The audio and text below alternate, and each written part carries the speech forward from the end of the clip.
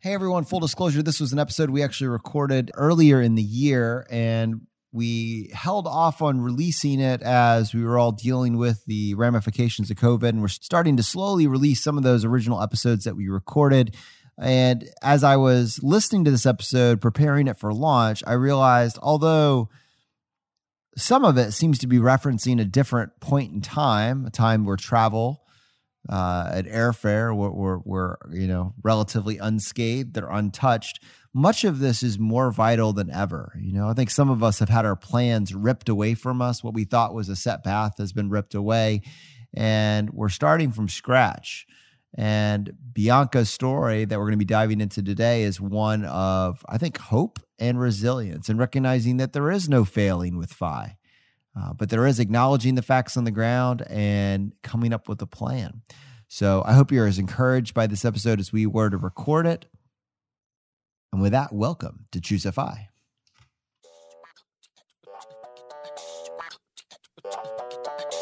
You're listening to Choose FI Radio.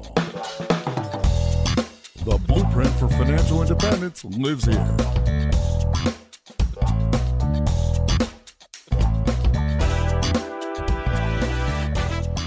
If you're looking to unlock the secrets to financial independence and early retirement, you're in the right place. Stay tuned and join a community of like minded people who are getting off the hamster wheel and taking control of their lives in the pursuit of financial independence. Choose FI, your home for financial independence online.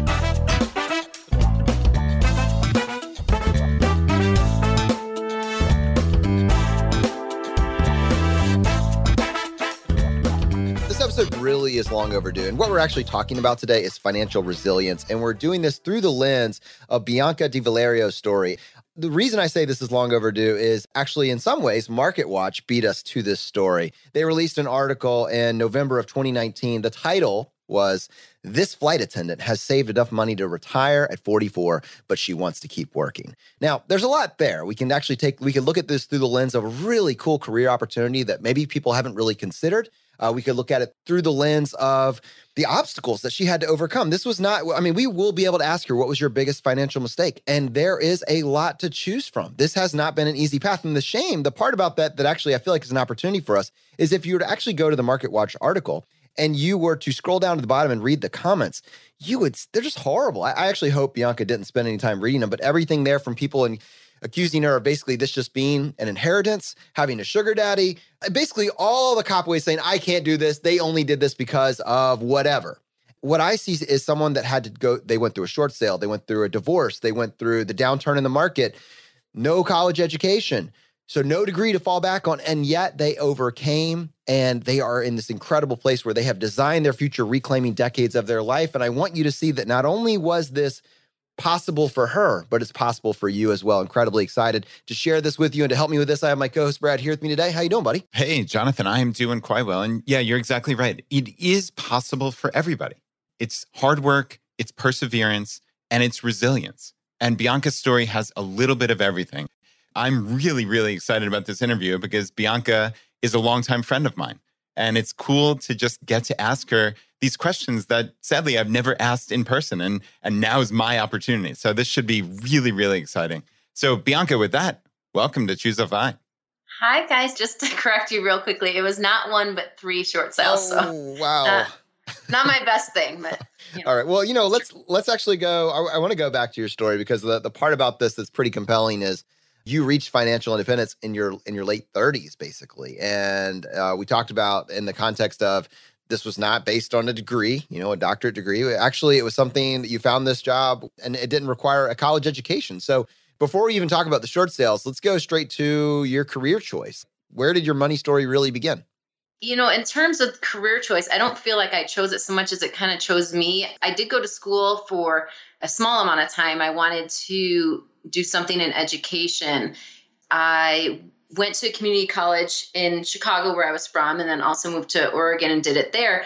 But I was paying a lot of money to go to school and I wasn't certain that's what I wanted to do.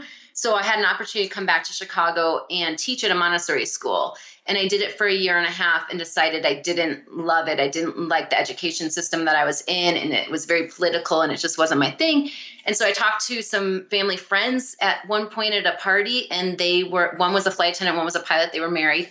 And they said, Well, you love to travel. Why don't you try being a flight attendant? And I obviously never had occurred to me. And yeah, so it just, I guess my lifestyle and the choices that I made up to that point it just made sense. The two fit, and someone else had to tell me to do it before I could even choose it for myself. Yeah, so you're kind of talking about your zone of awareness, and so many of us are just kind of limited to maybe what our parents did or those few individuals around us. Once the idea of becoming a flight attendant was on your radar, like what was the next step? Well, I applied at three, man, this is almost 20 years ago. I applied at three different airlines. I got very lucky to get the airline that I did, and I don't think I'm allowed to say it, but I'm pretty sure anyone who's seen anything about me or knows me at all knows which airline it is. But I wound up at one of the best airlines that I could possibly be at. And it was a process of maybe a five week training at that time. Now it's down to like three and a half weeks. So not a lot of training these days, but uh, five weeks. And it was my first real college experience going to, uh, we shared hotel rooms at the time. So me and a roommate shared a hotel room and we were there maybe five, six days a week for eight to 10 hours we were in class and then one day off and back and doing it again. And it was, it was a really cool experience. But even going through it, I still thought this is going to be a summer job. I'm shocked that I'm still there 18 years later, but it really is a career and I'm very happy to have found it and or it found me, I don't know. Bianca, 18 years later, you're still a flight attendant with the same airline. We're always looking for these kind of I guess, little hacks, let's say, or, or careers that will enable people to get to FI. And you did this without a college degree. And as we said in the intro, there's been some some bumps in the road, certainly. So it sounds like this was a real positive career on your path to FI. I'd love to hear about the positives and maybe any negatives that you see for people who might be thinking about this while they're pursuing FI. Yeah, I I have told all my friends, even when I was I was started at 23. So at 23, I was telling all my friends, go be a flight attendant because it's flexible. You work three or four days a week. You're off the other days. You can change your schedule around so you can be working one week on, one week off, whatever it may be. And uh, no one took me up on it. But uh, it is a bit of a circus too. You know, you're away from home. It creates kind of an unstable home life if you don't have people around you that understand the job and the fact they're not going to be around for holidays or birthdays or other you know big occasions. And, that's in the beginning you're on reserve. And i'm you know 18 years in now i'm the top of the pay scale. We're like i said hourly employees. So top of the pay scale is way better than when i started i think it was 1461 i mean it was it was not a lot of money. So the pay is tough in the beginning but it's a great second career choice. Uh, in the last three years i worked for two and a half of those in hiring on the hiring side. So I'd fly to Dallas and do interviews. And a lot of the people that are coming in for this position now are people who are doing their second careers. They've raised their children. I mean, it's mostly a female based work group. I think we're about 20% male at this point, which is very high. Uh, when I started, it was maybe 10%. So it's changed a lot over the years. And again, this is a second career choice for a lot of people now. And, and I think that that's great. I'm, I'm happy to see older men and women taking this opportunity because it creates such a uh, flexible lifestyle as well. And the insurance is great, the benefits are great. I mean, my aunt also did it. I come from a line of flight attendants too now. My aunt and my stepmom were both flight attendants. I didn't understand it when I was younger, but I understand now what a great career choice it could be. So I'm not going to uh, try to dive too deeply into the actual airline you work for because I'm really trying to pull out more of the uh, more of the data for people as they kind of try to wrap their minds around it. I will just say with this particular airline, both the crew and the passengers always look happy. So I'll give them a little plug. uh, yes. all right, but I am curious. So we talked about kind of that starting pay scale. I think one of the things that's important for people is is there a way to start working faster? You know, it, to be able to actually do what it is that you want to do faster without incurring massive student loan debt. So we basically said, all right, this job, you would be eligible for this without a college degree. We talked about how when you started, it was around $14 an hour. Like what would, what would be, and you could just talk about as a general for like the industry as a flight attendant, what would be a median pay scale and what's the upper range? I know it's an hourly employee, but what would you project out if you were talking to a friend or family member and advising them to look into this? Yeah, well, at my particular company, it takes 13 years to top out. That means you're at the top of the pay scale. I would say the very low end, I barely worked last year and I made around 30,000, which is I didn't work for seven months of that. So, um, so besides that, now I would say probably fifty thousand. Uh, in the beginning, we say it's around twenty-five to thirty thousand if you don't pick up any extra work. So you're just flying your line, which is our schedule. Uh, so that's four days on, three days off when you're on reserve. If you pick up any additional trips, then it'll go higher than that. So starting wage is around twenty five thousand. We have people making over a hundred thousand a year, and in far into it. So I'm not one of those people because I don't work that much, but um, I have friends that make 150 to 200 thousand dollars a year being a flight attendant. Wow. Which actually mentioning what you said in your opening, where people like, "There's no way." One of the comments, because I did read a few of them before, oh, it just it was just ridiculous. uh, one of the comments was, "There's no way that a flight attendant makes that much," and they're wrong. the The thing that people aren't used to, I think, in today's work culture is staying at a job for 20 years. You know, there's a lot that goes with longevity. And there's no way I would have been able to retire early if I was at the beginning pay scale and I quit after two years. So being there for as long as I was really helped me to be able to be financially independent at this age. Bianca, people are generally looking for flexibility in their lives. And certainly either on the path to FI or maybe as they're transitioning or getting closer to FI. I'm curious if you could talk us through how it works as far as getting benefits and insurance, how few, I guess, shifts you would have to take in a given month. Is it something that someone could start as a flight attendant and only work X number of days per month? Like, talk me through how that would work for someone who's thinking about this as a leader on the path to FI type career. So, a lot of companies have a minimum of 70 trips per month, and trips are interesting. So, the way that this is, we don't work normal hours. We only get paid when the plane is the doors closed and we're pushed away from the gate. So anytime that you you are on the ground or there's a delay on the ground and no one's loaded, we're not getting paid for any of that. Also, pro tip: don't go complain to your flight attendant at all when that happens because we're not getting paid complain to someone else. Anyway, so if we go by that, it's 70 hours minimum per month. Now, let me say, my airline doesn't have any minimums. So why I said at the beginning that I lucked out, it's because for me to be in this position now where I don't have to work at all, I keep all my benefits. The only thing that I have to do is bid for a line, so my schedule, and then I can give it away to other flight attendants that want to work more, and then I don't have to work. So I have to do recurrent training one day a year, and that's it. But for normal flight attendants, it's three days on, four days off, is what most normal schedules look like. Unless you're reserved, then it's four days on, three days off. And 70 hours would be the minimum. And the only thing that you can't do is work more than seven days. So you can only work six days on in a row. And you have to take 24 hours off before you work your next one. So if you really want to bust your butt, you can work almost every day of the month. You'd have to take off maybe four days and then be working the whole rest of the time.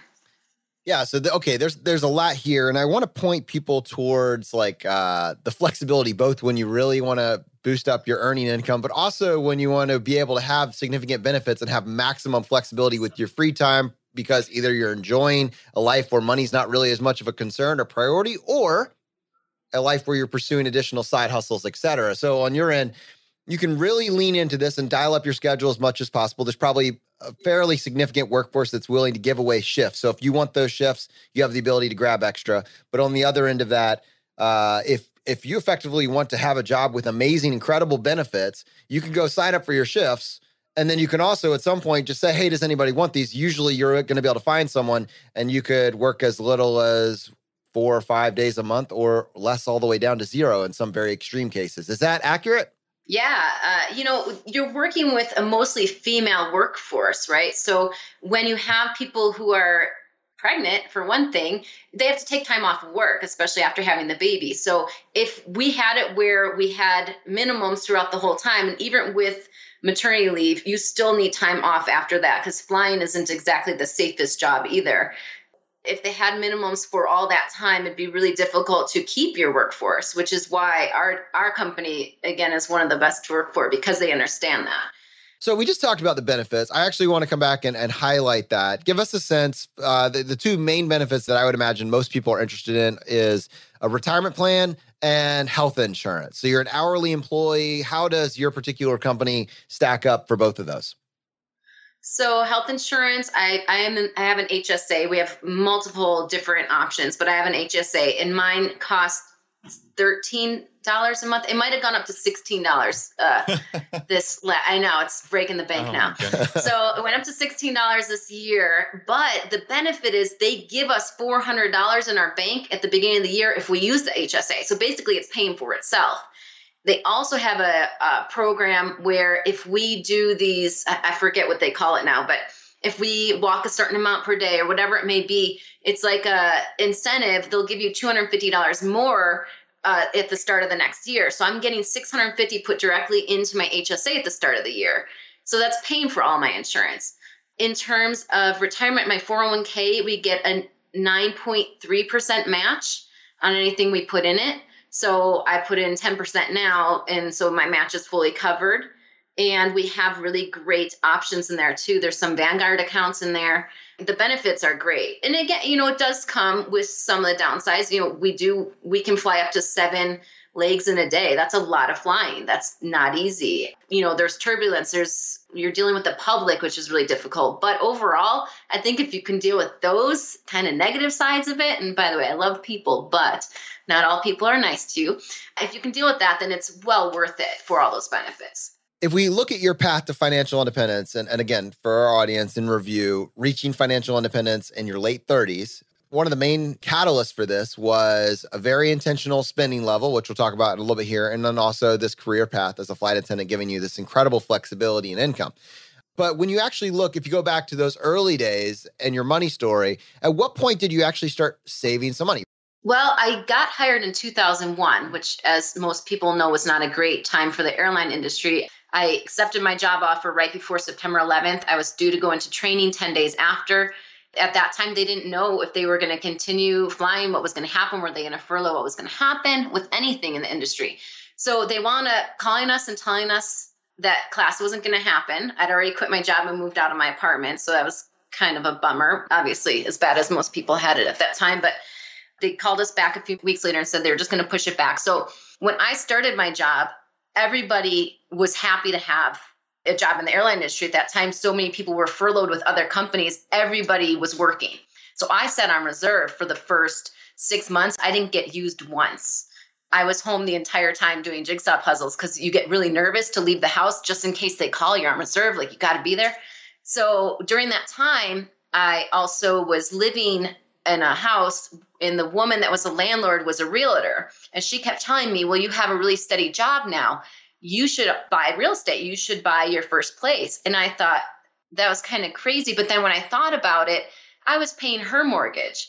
And when i started to do the numbers like i could buy a place and i could probably be saving more than i'm paying in rent at that time. And so i started looking at options and wound up buying my first place. I was 25 I wound up being a realtor right after that because I didn't have a great experience as a first time buyer. She kind of pushed me into a neighborhood that wasn't right for me. It was all families and children, and I was 20 something years old.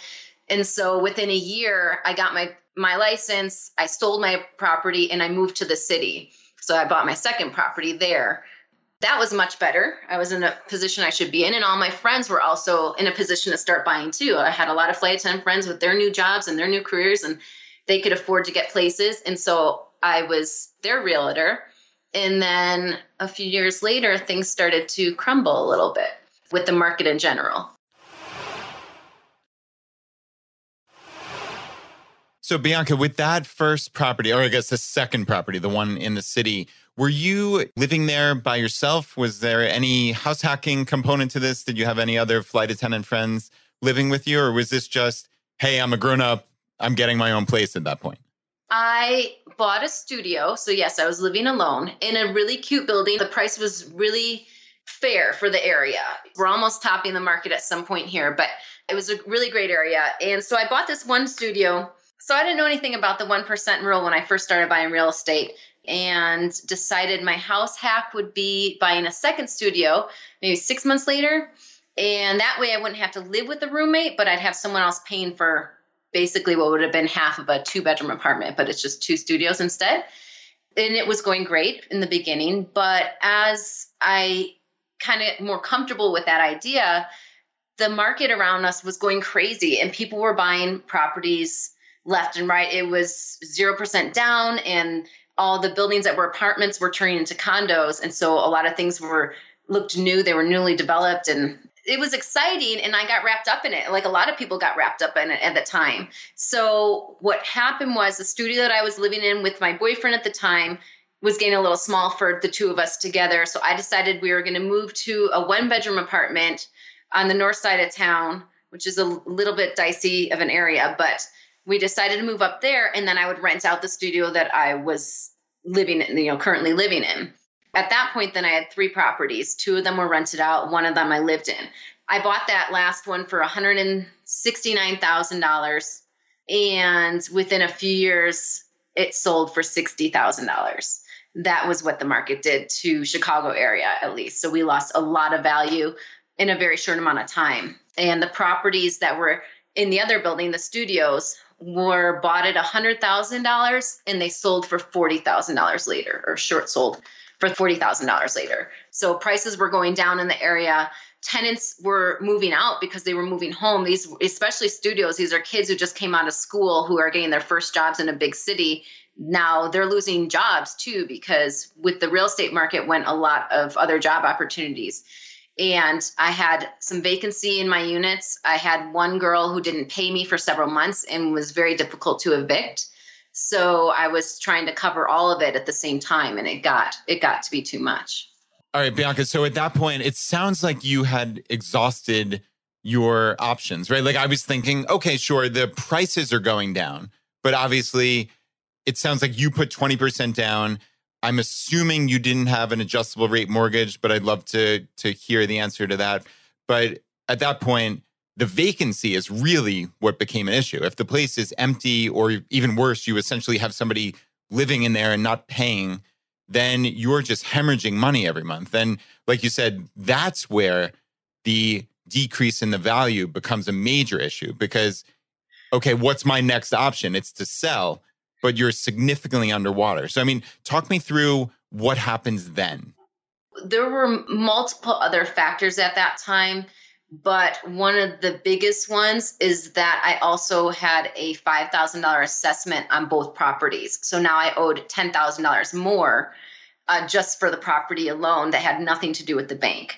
So what happens at this point is I am paying month after month after month to keep these properties going. I can't rent them for anything close to what the mortgages are as it was, I was already paying over what the mortgages was every month or what the rent income was every month to cover the mortgage and assessments and taxes. So in my specific building, losing 60% of value, the only people that are going to buy at that time are going to be investors. In my building, was not allowing investors anymore because they have owner occupancy. So they have to have 75% of the properties be owners only and 25% can be rentals. So I couldn't even sell my property if I had wanted to at that time. Okay, yeah, that's that's interesting. So we've actually had a fair number of guests on our show over the last several years talk about becoming a landlord and investing in real estate as an incredible opportunity to build wealth for yourself with relatively little capital out the gate. And one thing, a pain point or a fear point for me personally has always been, you know, well, well, what about vacancies? And, and we've gotten some good insight into how to go about finding tenants, placing tenants, making sure you have good tenants. And I know that you're not opposed to to real estate. In fact, you, you, I believe you still have a rental property. But if you're kind of doing some forensics on this experience and you're kind of deconstructing what you did, what you did poorly, and what you would do differently, you know, if you were looking back, I'm curious, could this have been avoided? Were you just really a victim of 2008, 2009, and this was a black swan event? Or with the experience you have now, would you have gone about acquiring and getting those properties filled with tenants differently? Both. It could have been avoided, absolutely. I definitely was over leveraged. At the end of this whole thing, so there was another property involved, and I bought a house at the time. I got married. A lot was going on at this time when I finally sat down and, and wrote about it a couple years ago, I was $500,000 in mortgage debt on around $40,000 a year. I should have never been uh, able to get those loans in the first place. But as I said, banks were going crazy. They were giving loans to anybody. And the fact that I was willing to put 20% down when nobody else was at that time, they wanted that money. And so they took it. And so, yes, I definitely met fault for that. But when the market crashed in such a way that it did, a lot of people who only had one property also did short sales because they were so underwater. And the thing about real estate is, and this is my own personal opinion at this point, is if you don't plan to be there for five years, don't even bother. Don't bother. The, to get into a property is expensive. To get out of a property is expensive. And if the market's going to fluctuate at any point during that time, it could be a bad investment. And we all know that. We all know real estate can be a bad investment. The way that I did it was not good for sure. But I also feel like if the market hadn't crashed the way that it did, I could have floated for quite some time and I probably would have survived it. But the vacancies, the special assessment, all the other things that I didn't think of was the biggest problem. I could spend time digging into the, the special assessment because that's something I haven't really talked about in the past. But I don't think for this episode, since this really isn't going to be a real estate show, I'm going to spend yeah. as much time here. So what I wanted to do is actually talk about the short sale. And I want to do this through the lens of financial resilience. I want people to remember that, like, again, you reached financial independence in your late 30s and you didn't, you're not one of these individuals that can say, I didn't make any financial mistakes, clearly, right? So I know that there was a lot of stuff going on both with your relationships and with your financial picture through this whole short sale process. Kind of walk us through I would say this is probably kind of a dark time, right? For you financially, for emotionally, a lot of stuff's going on here. From the short sale level, clearly bankruptcy nukes your credit for a period of time. It absolutely does. But a short sale is not dramatically better. What was your credit as this was starting and what happened as when you finished the short sale process? Where was it at then? So my credit was around 840 when I first started. I had great credit. i have never had any issues with anything really financially. I was always someone who paid my bills on time. I didn't carry a balance. So when this started to happen, that was one of the biggest issues for me. I was so upset that my credit score was going to get tanked. And to be honest, I don't know what happened because for the first year after the final short sale, which was in 2013, I didn't look at my credit score because it was gut wrenching to go through the process. The process alone is very difficult, but when you're going through three of them at the same time, it was unbearable, really. But when I did finally, you know, poke my head out of the stand and, and look at it again, I was around 620, I think. And now, several years later, obviously, I'm back up to an 820 credit score. So it definitely hurts, but it, it's something that you can get past relatively quickly. So, Bianca, you said your credit score when you finally decided to look was a 620, and it has jumped back up to an 820 in the intervening years. Obviously, on this show, we talk about the benefits of having good credit, and you get in different ranges for insurance and for mortgages and for car loans and things like this. But realistically, did you experience any downside when you were at the 620? Did this impact you or was the fact that you had saved money did that help mitigate the damage? Talk me through the practical reality of oh wow, I'm at a 620 credit score. I think it's mostly mental for me because I wasn't taking on new credit cards. I don't really use credit cards. I pay off and balance every year. At that point, you also can't get another mortgage for four years after your last short sale. So I wasn't going to apply for a mortgage. I didn't need to buy a car at that time. So it didn't really affect me. It was more the mental impact of it because I had felt like I'd worked so hard and I was so responsible with my credit and all these things leading up to it to have it go down like that was it was difficult. I I was ashamed. I was embarrassed. I was embarrassed about the whole thing. But being that I didn't need credit at that time, it didn't really hurt me much. And you know, we've talked about short sales, but I think it's probably important for our audience to actually kind of define what exactly it is that we're talking about here and why that would actually have an impact on your credit. You own this house, you can sell it forever you want. You know, why does it affect you if you sell it for a lot less than you expect? And and my understanding of the short sale process is basically that you and your bank have agreed on a mortgage amount. Hey, I'm going to take a loan out for $120,000 and I promise to pay this bank back over the next 30 years. You try to sell it for whatever dollar amount above that to be able to pay back the mortgage that you took off from the bank.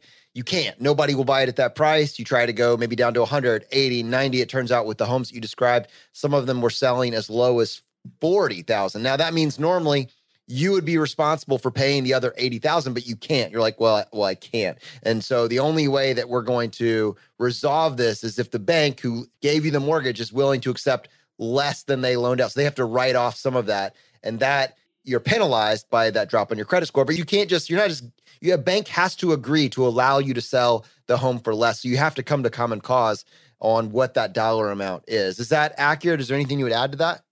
No, that's correct. Uh, in that case, when the entire market was crashing, they were doing loan modifications for people who were living in their homes. So that was a way where they could agree to a new balance. But because the last property that was available after my divorce and the only property that I bought with a investment mortgage because it was an investment mortgage they would not modify that loan so i i got into this last property and stayed there trying to work with the bank and say, can we please mo- modify this loan? Can we change it? Could we do anything? And they, because of the loan that that I had originally taken out, they wouldn't modify it. Later, they did modify those loans, but not when I had it. And Bianca, I'm curious: are there any additional issues that you have to deal with with the short sale? At that point, let's say in Jonathan's hypothetical, you had a hundred twenty thousand dollar mortgage you short sold it for 40,000. So theoretically, you and the bank are agreeing in some way. Let's say this $80,000 is being written off. Are there tax implications? Are there other implications? Like, do you say to the bank, I'll pay you a portion of it? Talk people through any other implications. And if you have any takeaways that you learned throughout this process that you could pass along to the audience my uh, attorney was really good. He had placed a clause in the closing because all the properties have to go through another closing. So he placed a clause in it saying that they could not come back to me later to get the difference that was promised. So great point about the clause. I think honestly, if someone is going through the short sale process, that is the single most valuable piece of information they could get out of this episode. You need that clause attached. That's the entire point of doing something like this. Otherwise, you're just like you're to have so many sleepless nights down the road. When that bean counter figures it out, they'll come back to you and, and you'll just have that sort of nightmare in your future. Get that clause added to closing. Second point that Brad asked, I'm just curious, what were the tax implications of having $80,000 worth of debt effectively written off? I should know that, and I don't because, again, I was coming out of a complete fog and I don't recall it being anything big because I wouldn't have been able to afford it if it was. So I can't say that it affected me much.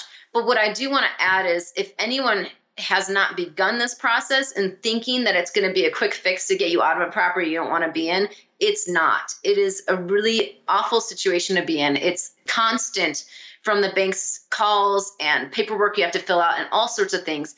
And again, it ruins your credit and it's just not an easy thing. It's not a quick fix, that's for sure but you can survive it. And I want to point out, as we kind of mentioned, you kind of dropped in there. I mean, you had these three short sales, you went through a divorce in the same period of time, you came out the other side. So let's just talk about the other side. When your head came out of the fog, the splitting of assets, your actual net worth, and then your willingness to say, all right, what's the next step? Like, where were you at that particular point in time? So all the properties that I bought, I bought in my name only before I met my husband. So he had nothing to do with those properties. Now, when I met him, we wound up buying a house together as well. And because I was already going through the short sale process and because my credit was now shot, when we were deciding what to do with the house, he didn't want it. I really wanted it, but I couldn't afford it because we could not roll the loan now into just my name because my short sales.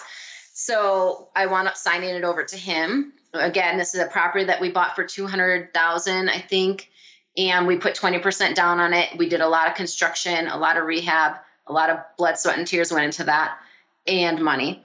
And I walked away with $5,000. So that was all that he gave me. That's all I asked for. I was just completely uh, signing off on it and everything in it. So at this point in time, how old are you and what is your net worth with this $5,000 that you've pulled out of this house? I was around 33 or 34 at this time my net worth only because when I was young and in flight attendant school, they taught us about a 401k and told us to put 10% in it every month. So all I had left was I think 80,000, 80 to 100,000 in a, a 401k and cash wise, uh, nothing. I was, I was broke. So I was, I was literally starting over from all the things that I did financially that I thought were going to be my retirement in the end were completely gone. And the process of building all that was saving up 20% for a property, buying a property, saving up again, buying another property. This ladder effect that I was doing, ultimately, I was back on the bottom rung. All right. So you're on the bottom rung. This is eight or nine years ago. You're featured on MarketWatch, you know, now, present tense. You've reached yeah. financial independence. I mean, this is effectively ground zero. This is really where your, your path to financial independence begins. What gets us to us having this conversation today?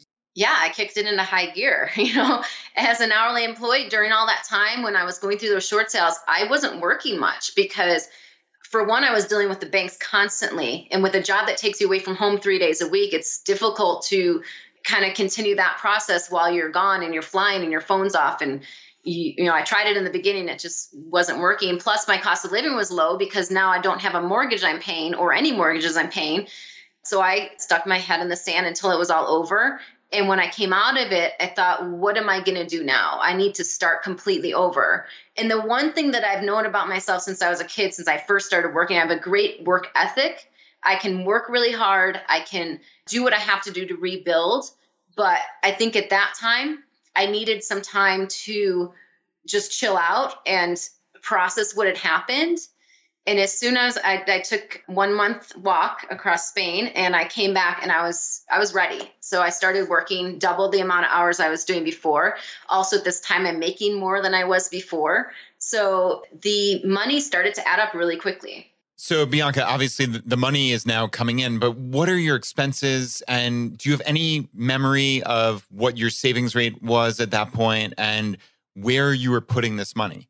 I did not open a brokerage account until 2015, late 2015, when I first found out about the fire movement. So before that, I was just saving cash because I was thinking about where was I going to live in the future. I was so used to paying a mortgage that to, or multiple ones, I guess, that uh, paying rent was killing me. It wasn't expensive. I wound up actually renting in the same building that I had the two short sales in, the studios. So I rented another studio from a friend. The rent was around 750. My expenses were very low because I was working mostly. I didn't go out at all. I really was gone most of the time for work. So I started saving a lot of money. And about a year later, there was an apartment up or studio upstairs for sale, and it was for sale for sixty-five thousand. And I was able to buy it in cash. When I did that, for one, I stopped paying rent, which was the best thing buying it in cash meant my living expenses now were only $300 a month. That's what taxes and assessments were for that unit. And not having a mortgage or rent to pay made me be able to start saving a lot. So I bought that property in 2014. I opened my investment account in 2015. All right. And your savings rate once you were able to basically wipe out your mortgage and you know now like what are your expenses and what's your savings rate for the last several years? Geez, well, at that time I wasn't tracking it. I think I started tracking it in 2016, and I believe it was around 75%. And I don't know the exact number of those earlier years. I'm sure it was probably even higher because I was working much more. But yeah, my, my savings rate since I've been tracking it always around 75%. I think that kind of sets us up. So, I mean, for you to go from, you know, an $80,000 net worth to a number that you kind of feel more or less comfortable with in terms of being able to fund your current lifestyle, like what it is right now, which is a paid off mortgage. Uh, I don't know how much, how much do, would you say your life costs now? It's around 2000 a month, maybe a little bit higher at times because I'm not as lean as I once was. I'm, definitely traveling more. Uh, I visit friends more. I go out more than I did before, but I can afford to also. You know, I, I put the work in to be able to do that. So. All right, Bianca. Well, I know a lot has actually happened since. It's, you know, we've kind of gone through some of these big moves and changes in your life, and I know you're not in that. Even though you had that paid off home, that's not where you are now, and it, so it feels like there's a little bit more here. There's the lifestyle optimization side, and there's also kind of how you've let out the reins a little bit with how much your spending is. Like, where are you now? So I currently uh, split my time between Longmont and Lake Geneva, Wisconsin. But what happened with that property that I lived in Chicago is now rented. So I bought it at 65,000. It rents for 975 a month. So well above the 1% rule, which offsets my cost of living here. And my current rent, I do split a house with two other women, and my current rent's what 525 a month. So I'm getting additional income from the property that I own in Chicago. So Bianca, when you quoted us that roughly two thousand dollars a month in living expenses, so you're taking that two thousand and then subtracting out the rental income, or is that like net of the rental income? I use the rental income to offset my expenses. So if I'm two hundred dollars a month, basically I'm probably spending around twenty five hundred dollars a month. Okay, so that brings you to an out of pocket about two thousand a month in your Yeah. current living expenses. Okay. Yeah.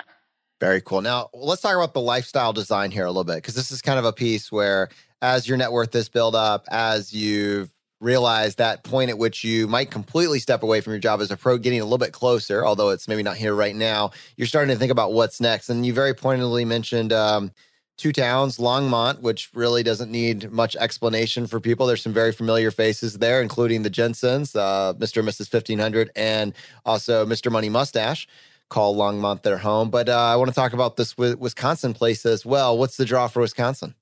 So Wisconsin always has been a big town for me. I've always loved it. My parents had, a, or my mother had a condo there. It's a resort area just north of Chicago. And in this resort area, they have a line of 33 cabooses, train cars, all in a row. It used to be a hotel, and they since converted it in the, in the mid 90s to individual units, uh, condos. And so I own one of those. All right, now we can spend about five ten minutes here if you want. I think I think I think we should probably talk about the world of caboose. Wow. Yes. So there are cabooses lined up in a row and you own them. I think people's heads are exploding out there. Talk us through like how is that even possible? I don't I don't have any other legitimate question other than tell us more. Yeah, so I own one of them. My friend Marla, who also was a guest on your podcast, she owns one. And our friend Michael Robinson also owns one. He is also in the community. So, what we are trying to do is build a community there of like minded folks. And it's a great location. You know, we're only half a mile to the lake and it's beautiful and it's quirky and weird, which I think is one of the more fun parts of the whole thing. It looks like a studio inside. They're small, they're maybe 200 square feet. Mine and my friends face each other, and then we have a huge 500 square foot deck. So we spend a lot of time outside. It backs up to a preserve, so it's really quiet there and peaceful. And yeah, I don't know. It- It's so hard to describe it because unless you've seen it or been there, it's it just sounds weird, and it is. Well, it's awesomely weird. Now, every train set that my son has ever brought into our household only has one caboose, but this sounds like this is an entire rail line full of caboose. Uh, is that accurate? And is your caboose red? all of our caboose are red and we do have also we have a pool we have a clubhouse although it's not anywhere you want to be right now. Raccoons kind of took it over. So that's part of also why we want to put some love into this community because the people who've owned there for a long time they you know haven't kept it up as well as i think that if we inject some new love and personality into it that we can do it. And uh, yeah it's, it's it's my passion project right now Well, it sounds like a few individuals from the fire community have really taken this on as a project of love. Tell us what you guys have planned for the next couple months. Well, we had a lot of visitors last year, so I'm sure we're going to have uh, quite a few more this year. So everyone who comes to see it falls in love with it. The problem with it is people don't know how much they'll use it, and so it's not a great investment. I don't think we call it a fun investment because we're there really to have fun with it. And I think over the next years, we actually have one right now that we're in the process of buying. There's uh, multiple buyers for that unit uh, within our community. Also, there's two more for sale that we haven't quite figured out who's going to be buying those, but there's a list of people that are interested in the community. And really, it's just a lovely area, and you have great neighbors. And yeah, so we're hoping to kind of take it over. I guess don't don't tell my neighbors; they're not happy about this. But yeah, we're we're taking it over. Awesome. You got featured. You were in a uh, Money magazine, featured right alongside Vicki Robin, and you were on MarketWatch, where they were talking about you know your story and basically what you've accomplished. And I'm just looking, if you reflect back on how you got here, is there anything like you just want to share with people that maybe when they see your story, how does your life maybe match up to their first impression? And what additional information would you want to provide? Yeah, I think one of the biggest things with any of these stories is to take the things that inspire you and leave the rest. You know, you had mentioned some of the comments on those sites. People who don't feel like they can do it get really angry about it. And if you hear my story and think, well, I could never do that, for one, you're probably wrong. I think a lot of people can do it. Not everyone can do it as quickly, but if you look at the course of how long it took me to get here, it wasn't just the last seven years that got me here. It was really the work ethic that I had. It was sticking with a job for 18 years, even in the years that I hated it and didn't want to go back. Reaching fire is not easy for anybody. So if you're really committed to it though it goes much faster than you expect it to and it's so worth it to be able to have the time and the opportunity to make choices for yourself or if you have to make them for your family or whatever it may be to have that time available is it's like nothing else, really. All right, Bianca, okay. on most shows, that would be the end of the episode. But on this show, we would love to give you the chance to tackle the hot seat. Are you ready for this? All right, let me sit up tall. Oh. I'm ready. In a world drowning in debt and rampant consumption, trapped by the chains of lifestyle inflation, these questions highlight the secrets of those who have broken free. Welcome to the ChooseFI Hot Seat.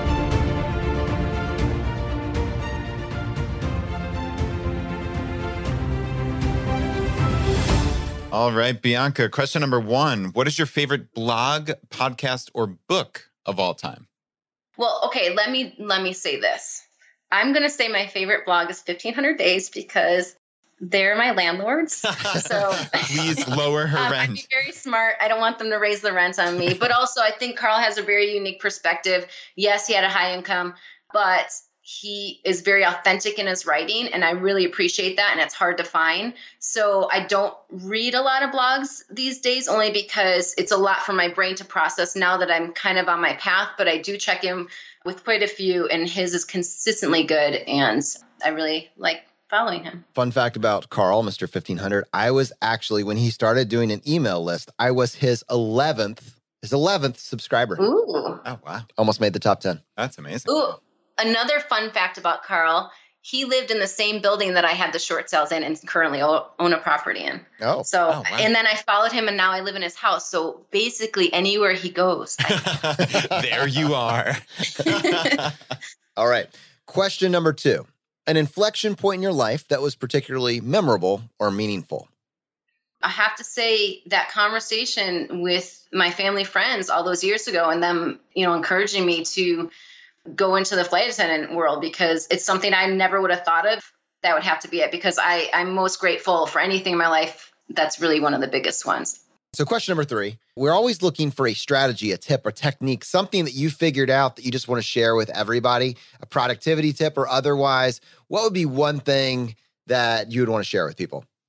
Yeah, can I say my job again? Because really, you guys should be flight attendants. Look at you can travel anywhere for free. This is the greatest life hack ever because after I retire, you can retire. I'm going to retire in a couple of years because it's your age plus years of service.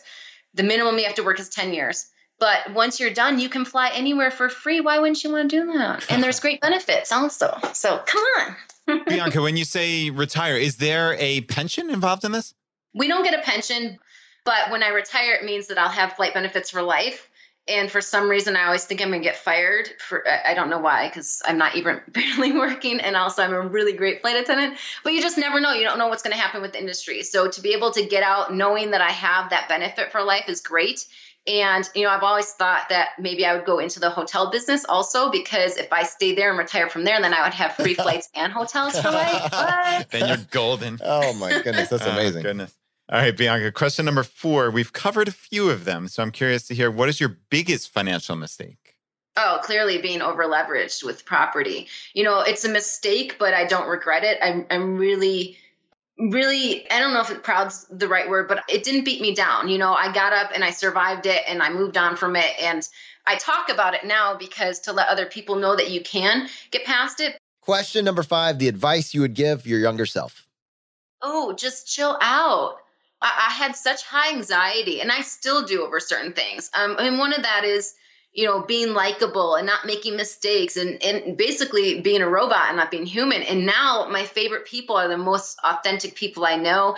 They're relaxed in who they are.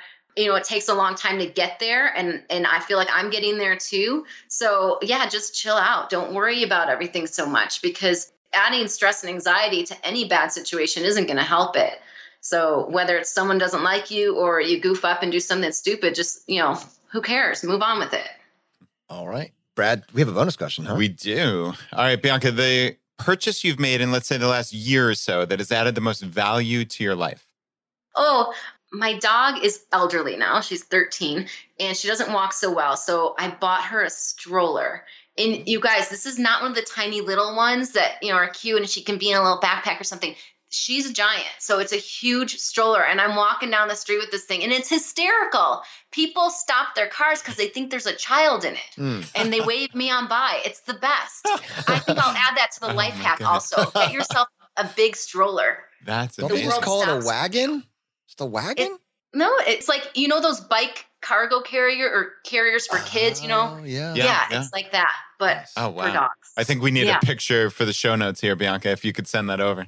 I am so happy to. All I'm right. so happy to. It's hysterical. All right, Bianca, someone's listening to this. They want to find out more. They're going to take you up on that offer and fly around the world, full transparency. Or maybe they just want to follow up on other aspect of the story. What is the best way for them to connect with you and connect with your content? So, really, right now, I guess Twitter or Instagram, it's Miss Mazuma. I do have a blog. I don't write very often, but you can find me there as well. There's an email address there too. What is the name of the blog? Oh, I'm sorry. MissMazuma.com. Sorry. the now defunct MissMazuma.com. Find her on Twitter. yeah. Basically, right. I'm on Twitter. Bianca, thanks so much for joining us on the show. This has been great. Yeah, thanks for having me, guys. You know, Brad, it's one of my favorite things to do these different career profiles and see all the amazing ways that people are finding to get an above, this is very important, an above median income and do it regardless or without a degree, without a college degree. That's amazing. When you pair that with the flexibility that Bianca described, it really opens up the doors to the possibilities of what is out there if you're willing to think about things just a little bit differently. All right, hope you got value from this episode. If you haven't yet, go to our homepage, choosefi.com, check out our financial resilience toolkit, and get started on your own path to financial independence. All right, my friends, stay tuned and stay subscribed as we continue to go down the road less traveled.